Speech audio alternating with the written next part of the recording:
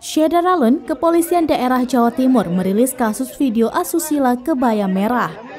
Kedua pemeran tersebut diperlihatkan dengan menggunakan baju tahanan warna oranye.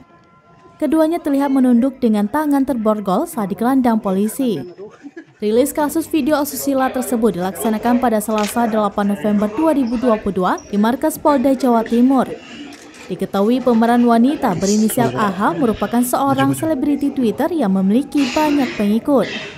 Sedangkan pemeran pria yakni ACS merupakan pengusaha event organizer. Keduanya dijerat dengan pasal 27 ayat 1 junto pasal 45 ayat 1 Undang-Undang Nomor 19 Tahun 2016 tentang perubahan atas Undang-Undang Nomor 11 Tahun 2008 tentang informasi dan transaksi elektronik atau ITE. Kemudian pasal 29 junto pasal 4 dan atau pasal 34 junto pasal 8 Undang-Undang Nomor 44 Tahun 2008 tentang pornografi dengan ancaman di atas 5 tahun penjara.